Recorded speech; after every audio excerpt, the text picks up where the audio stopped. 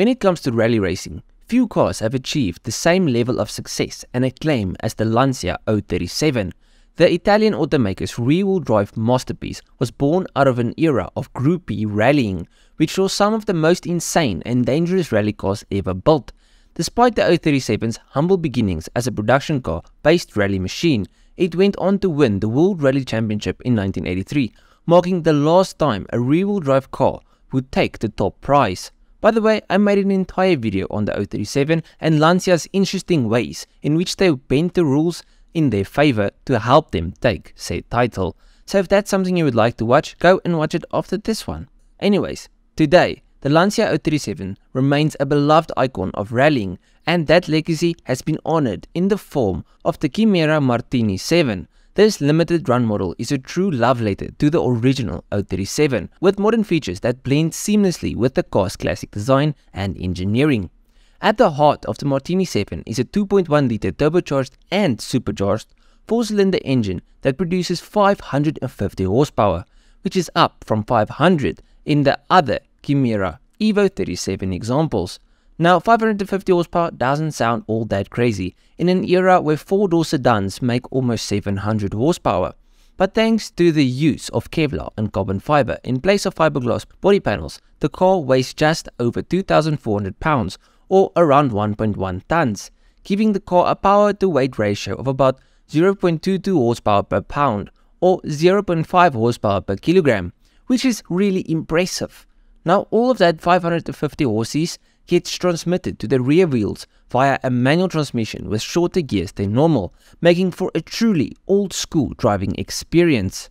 But there is more to the Martini 7 than just the engine. You see, the car also boasts a number of unique touches that pay homage to the car's legacy. For example, the rear bumper features a quick release system that exposes the gearbox and exhaust, just like the 037 Group B Evo 2.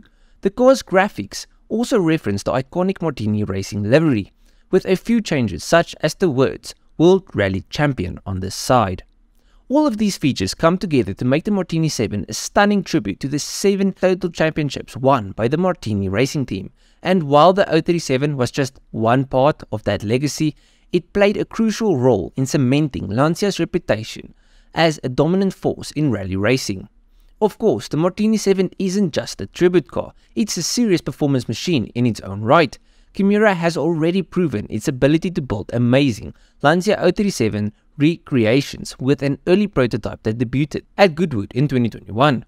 And with the first customer car, Esmeralda, delivered in March 2022, it's clear that this limited run model is more than just a pipe dream. While I don't know the exact pricing of the Martini 7 or whether it's already been snatched up by a buyer, I do know that it represents the best of both worlds, a celebration of the past, whilst creating an amazing car of the now.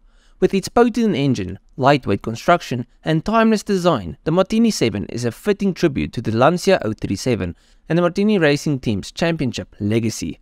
But let me know what you think of this awesome tribute car down below, its engine and its looks, and actually, what do you guys think of tribute cars like this? Do you think it's cool when they make like modern versions of all the cars? I actually do think it's cool. As long as they don't go and put an electric motor in it, I like it. Yeah. Now, if you like this video, remember to leave a like and subscribe. And also remember to go and watch my video on the 037. I think it's a cool video. And hopefully, if you go and watch it, you'll enjoy it as well. So yeah, let me know down below what you thought of this video. If you liked it, leave a like and subscribe to the channel. And if you did like it, you'll like it of my other stuff. So, so just go through my channel, see if there's something else you like. I'll check you guys in the next one. Cheers,